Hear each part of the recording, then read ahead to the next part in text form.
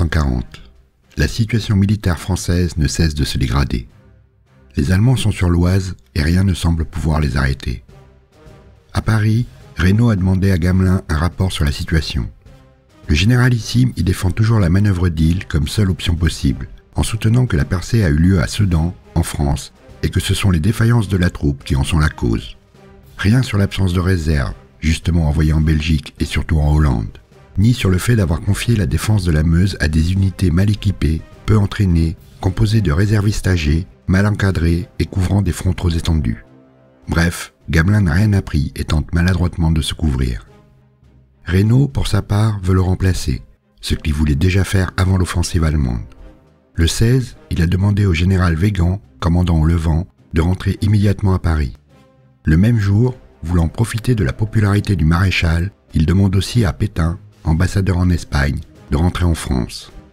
Le 18, le gouvernement est remanié et Pétain devient vice-président du Conseil. On peut se poser la question du pourquoi d'une telle manœuvre, rappelant deux vieillards, Pétain à 84 ans, Végan 73, au premier plan. Simple coup politique d'un représentant d'une république sonnée par l'offensive allemande ou manœuvre pour se déresponsabiliser, l'interprétation reste ouverte. En attendant, le 19 au matin, Gamelin lance sa dernière directive. Il préconise une attaque en tenaille, le groupe d'armée numéro 1 attaquant vers le sud-ouest, pendant que les éléments comme la 4e DCR attaqueraient vers le nord-ouest. Le tout afin de couper sur leurs arrières le corridor ouvert par les Panzers. Mais le groupe d'armée numéro 1 est engagé sévèrement par les Allemands, et le corps de cavalerie, éprouvé par la bataille de Jean-Blou, est imbriqué dans les unités qui reculent pas à pas. Quant à la 4e DCR, elle est déjà engagée autour de Montcornet et de la Serre pour couvrir l'installation de la 6e armée. Vers midi, George apprend de Billot que Lord Gort, commandant le corps expéditionnaire anglais, aurait décidé de reculer vers la mer en vue d'un rembarquement et propose de faire bloc avec lui et les Belges afin de s'embarquer également. George, en accord avec la directive de Gamelin, y oppose plutôt un mouvement sud-ouest afin de rompre le couloir créé par les Allemands. En fin d'après-midi, Gamelin est démis de ses fonctions et remplacé par Végan, ce qui de fait annule les dispositions prises le temps qu'il soit mis au courant de la situation. Mais revenons au 17 mai, sur le front.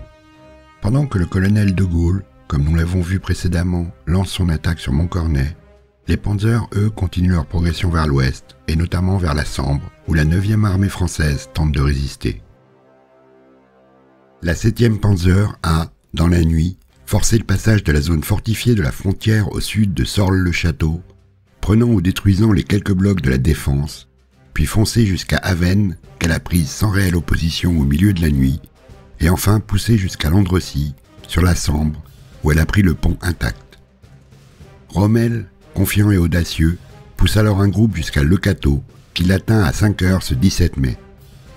Mais il est arrêté provisoirement par une compagnie de chars de la première DCR et des éléments de tête du 6e cuirassier, qui arrivent à marche forcée depuis Valenciennes. En effet, côté français, Billot a donné l'ordre la veille à la première division légère mécanique et à la 9e division d'infanterie de faire mouvement sur la Sambre et sur une partie du canal de la Sambre à l'Oise. Si dans la nuit, quelques bataillons de la 9e division d'infanterie ont pu passer et prendre position autour de Nouvion, ceux qui les suivaient sont surpris par la présence allemande à Landrecy et repoussés vers le nord-ouest, coupant la division en deux.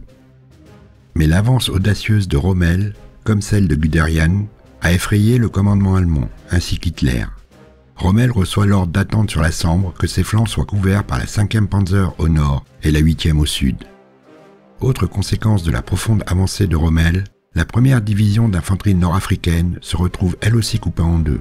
Une partie de la division se trouve autour de Le Quesnoy, où elle est rejointe par des éléments de la première division légère mécanique. Le reste a pu prendre position sur la trouée de Trélon dans la nuit, occupant une partie des blocs de défense de la position frontière. Au petit matin, l'infanterie allemande se lance à l'attaque de Trélon. Si plusieurs ouvrages sont pris ou mis hors de combat et les tirailleurs obligés de céder du terrain, la position tient. Mais les pertes sont lourdes, certains bataillons perdant plus de la moitié de leurs effectifs. Plus au sud, les restes de la 4e division d'infanterie nord-africaine, soutenus par des unités éparses et des blindés, sont attaqués sur une ligne à nord Mondrepuis-Hirson par la 8e Panzer aidée d'infanterie. Enfin, autour de Maubeuge, un groupe formé autour du 6e régiment de tirailleurs marocains est chargé de la défense des ponts au nord de la ville. Au sud, entre Maubeuge et Landrecy, des groupes de combat formés de restes d'unités en retraite, appuyés par quelques blindés isolés, tiennent les ponts sur la Sambre. Mais en milieu de matinée, la 5e Panzer se lance aussi à l'attaque, réduit ou repousse les unités qui tenaient encore les blocs autour de Sorle-le-Château, puis fonce vers la Sambre, qu'elle atteint vers 20h en s'emparant de Berlaymont, dont le pont avait été pris à 17h par des unités de reconnaissance de la 7e Panzer. De son côté, la 8e Panzer progresse vers La Capelle, repoussant durement la 4e division d'infanterie nord-africaine. En milieu de journée, elle encercle la ville, qui résiste jusqu'à 18h30 avant de rendre les armes. Même scénario à Montrepuis, attaqué vers midi par l'infanterie de montagne allemande, appuyée par un détachement de la 8e Panzer.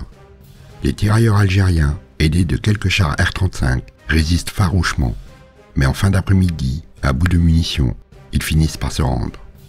Quelques groupes isolés parviendront néanmoins à se replier. Dans le camp français, les gros de la première division légère mécanique arrivent dans le secteur de Solem-le Quesnoy. Le capitaine Ségonzac, commandant un escadron de Saumua, arrivé à Le en milieu d'après-midi, reçoit alors l'ordre d'occuper les ponts de Noyelles et Berlaymont.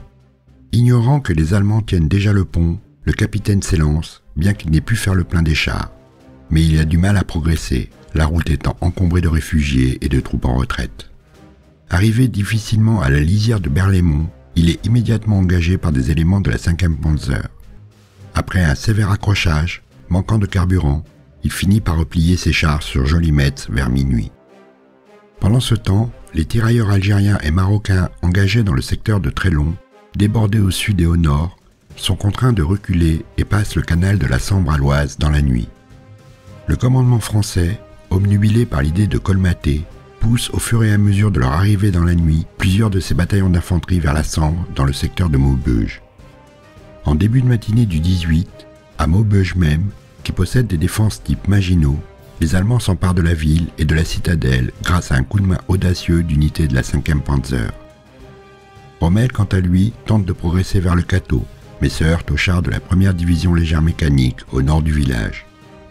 À Or, où les Français tiennent toujours le pont, la tentative allemande pour s'en emparer échoue. Vers 10 heures, c'est la 5e Panzer, débouchant de Berlaymont, qui attaque à Jolimetz. Défendu par un bataillon de tirailleurs marocains de la 1 division d'infanterie nord-africaine, soutenu par l'escadron du capitaine Ségonzac, la position résiste. Les combats durent une grande partie de la journée, Ségonzac y perdant la presque totalité de ses dix chars Saumua. Dans le même temps, la division allemande ne parvient pas à s'emparer de Pont-sur-Sambre, qui résiste à plusieurs attaques. Au sud, la 8e Panzer se heurte au reste de la 2e division cuirassée et à des unités de la 9e division d'infanterie sur le canal de la Sambre à l'Oise. De violents combats ont lieu autour de Tupigny qui vont durer tout l'après-midi. Finalement, les Français y perdent la plupart de leurs chars et seront poussés vers le nord-ouest. Toujours en début d'après-midi, nouvel effort de la 7e Panzer, qui s'empare de Or vers 16h, puis de Lecato, qui tombe vers 17h. Les Allemands progressent alors vers l'ouest et le sud pour élargir la brèche. Côté français, Giraud a demandé dès le début de matinée au général Picard, commandant la première division légère mécanique, de lancer une contre-attaque toute force réunie en direction de Landrecy, depuis Solesme et Le pour couper l'avance allemande. Mais le groupe de gauche qui a perdu ses Saumua détruits dans les combats à Jolimetz, ne peut attaquer qu'avec une fraction de ses moyens. Ces unités sont alors engagées par les Allemands immédiatement au sud de Lequesnoy. Malgré des pertes sévères, le groupe parvient à progresser et arrive à proximité de Landrecy, mais est finalement repoussé. Une vingtaine de blindés est perdue dans l'affaire. Les restes du groupe, isolés par l'avance de la 5e Panzer, finissent par se replier sur Aiglefontaine dans la nuit, avec seulement deux chars survivants.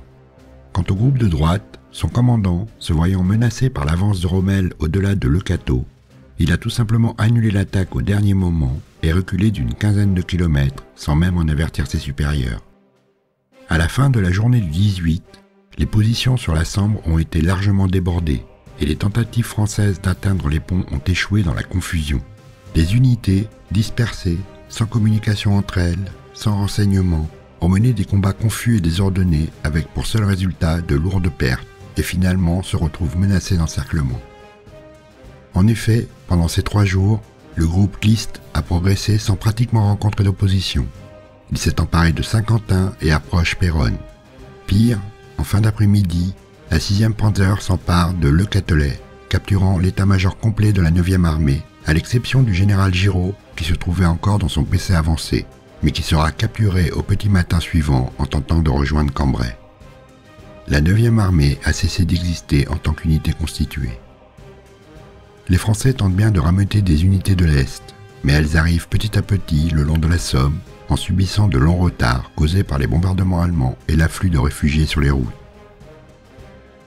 Enfin, toujours le 18, la 4e division cuirassée de De Gaulle, qui récupère plusieurs de ses unités qui n'avaient pu le rejoindre pour l'attaque de la veille, prépare une nouvelle attaque sur le flanc allemand depuis l'an en direction de la Serre cette fois. L'attaque est fixée au lendemain à l'aube. Au même moment, des blindés restants de la 2e division cuirassée préparent aussi une attaque de flanc un peu plus à l'ouest, à partir du canal de la Somme en direction de Saint-Quentin, et l'attaque est aussi prévue le 19 à l'aube. À 4 heures, les blindés de la 4e division cuirassée s'élancent en deux colonnes. Le premier objectif, une ligne Chéry-les-Pouilly-Barenton, est rapidement atteint, bien qu'avec un certain retard. Le mouvement se fait sans opposition sérieuse, les unités allemandes n'ayant pas franchi la serre, et les chars peuvent se ravitailler en essence.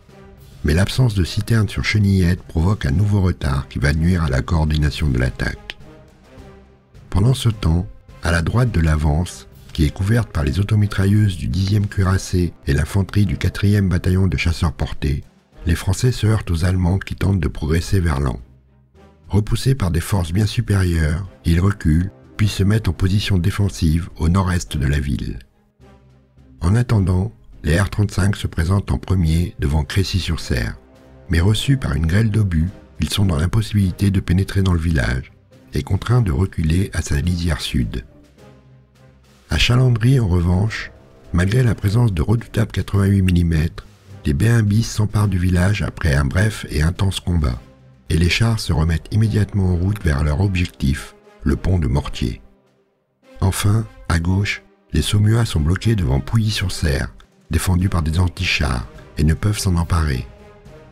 À Crécy, l'arrivée des lourds D2 permet de relancer l'attaque, et les chars pénètrent dans le village. La défense est féroce malgré les pertes infligées par les chars français, dont plusieurs sont détruits, tirés à bout portant, ou abandonnés, moteurs aux chenilles touchées. Et si les Allemands se sentent suffisamment menacés pour faire sauter le pont, ils finissent quand même par forcer les Français à se replier. Pendant ce temps, à Mortier, les chars français sont tenus à distance par le feu des antichars allemands et ne peuvent pénétrer dans le village. En fin de matinée, De Gaulle prend conscience de la menace sur son flanc droit, violemment attaqué à Chambry. S'il y envoie quelques Saumuas en renfort, il comprend qu'il doit arrêter son attaque et se replier avant d'être isolé, et il ordonne le recul de ses éléments avancés.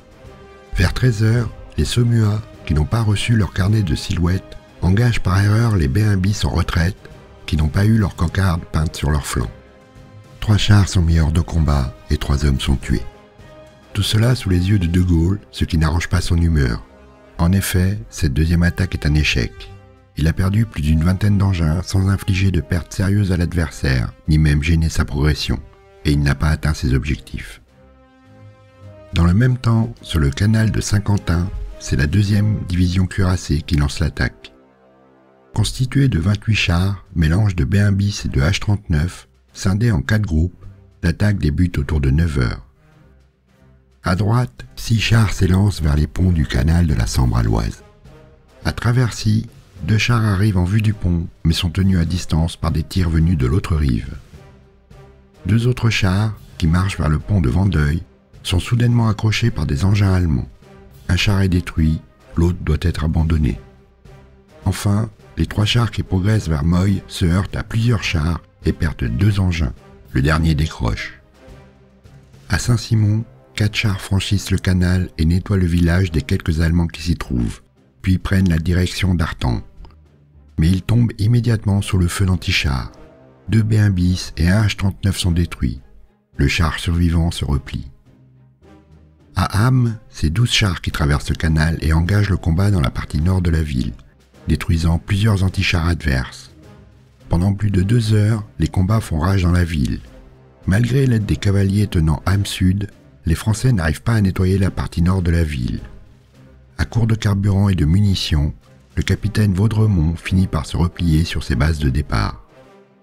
Enfin, à Jussy, quatre chars s'élancent, franchissent le canal, puis détruisent plusieurs automitrailleuses. Enfin, ils prennent la direction d'Essigny, qu'ils atteignent en milieu de journée, nettoyant le village des quelques Allemands présents et tirant à vue sur tout ce qui se présente. Sans le savoir, les quelques chars français sont à moins de 10 km du PC de Guderian et ont provoqué une vague d'inquiétude au haut commandement allemand, craignant toujours une puissante contre-attaque de flanc.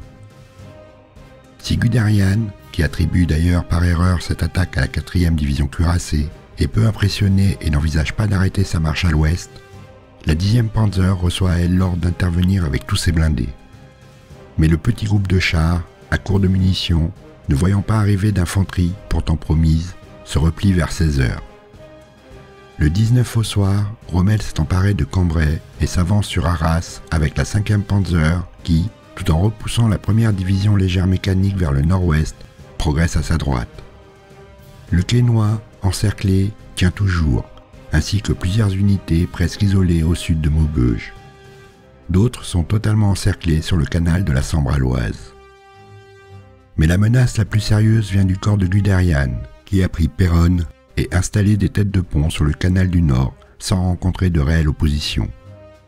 Il menace Amiens et Abbeville, et les seules unités organisées sur son chemin sont trois brigades anglaises de la 12e Infanterie Division. L'isolement du groupe d'armée numéro 1 et du BEF n'est plus qu'une question d'heure.